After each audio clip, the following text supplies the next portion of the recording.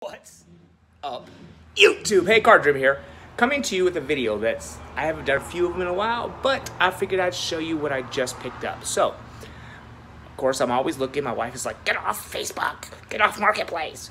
So anyway, somebody just listed their entire collection, and they just didn't want it. They needed the money, and they wanted to get rid of it. So I'm going to show you what I got. So I had to contact. I don't have the money right now. I had to contact my brother real quick. Hey, could you help me out? My big brother's like, yeah, I'll help you out. I love him to death. Not just because of that, but just because he's always there. So I'm gonna show you real quick what's here and it's gonna flip your lid. So just wait. I'm gonna flip this camera. So these four totes full, full of stuff. Baseball, basketball, football, stuff from 81, 82, 90s, 2000s, just tons. Now watch. So I just kind of, in the car, opened one silly little box just to see, and bam, look at this, guys and girls.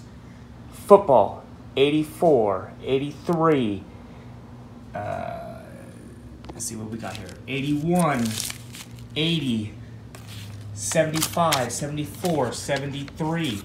And I was thinking, okay, well maybe they picked through it, right? So there was a bunch of stuff in sleeves.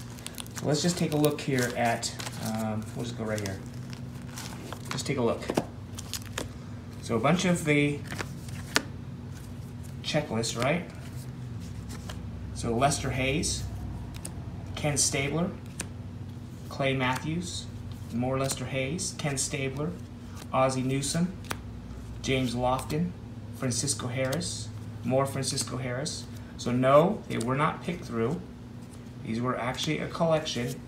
And what's better, best, Larry Csonka, best for me is that they're all in numbered orders for my sets. So that is a killer.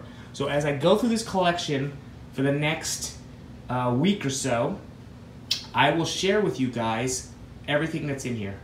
So hold on one second. Excited, guys. I'm excited about this. Again, thank you, Big Brother. I appreciate it.